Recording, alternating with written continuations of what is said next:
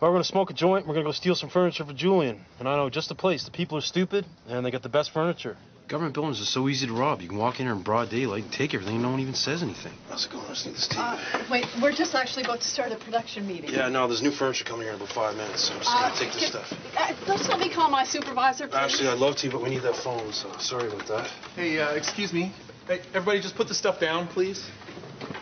Where you just guys- uh, where keep you that stuff coming right out here, Where are you guys taking the stuff? Take No, it no, no. over. Just, just put it down. You can't have our stuff, okay? Like we need this. I mean, we're trying to get some work. Look, I'm trying to do my job here. Keep it coming out here. I need four loaders for the car. You, you, Who said you, you could take and you. this stuff out of here? I mean, we need this. Paul or Jeff? Is it at head office? Jeff, I don't know. you talked to Jeff? Yeah. Oh. Everything's cool. There's gonna be new shit here in about ten minutes. It's a lot nicer than this. Oh, we're getting new stuff. We're getting new stuff. It's brand new. It's great. Keep it I just, out I just this talked way. to Jeff, and we're getting new stuff. Keep it moving.